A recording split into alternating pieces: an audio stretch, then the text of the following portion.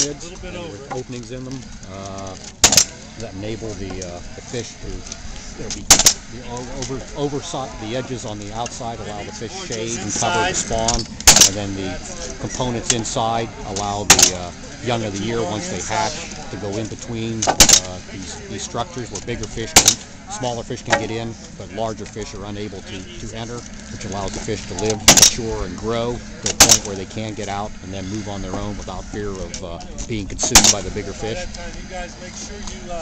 And hopefully survive on into maturity, which will enable the uh, fishery to increase its uh, quality uh, to go with the uh, quantity and size of fish that are already here.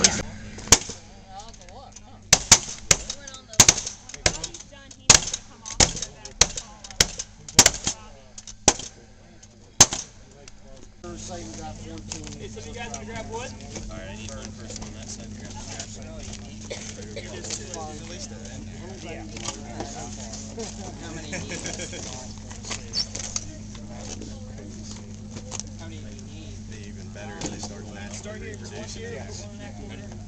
Which should, you know, continue what I'm saying.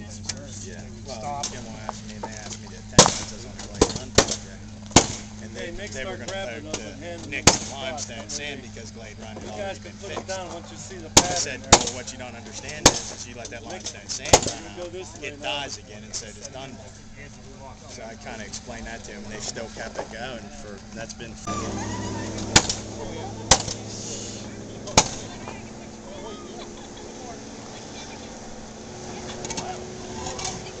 Still giving your boss a hard time.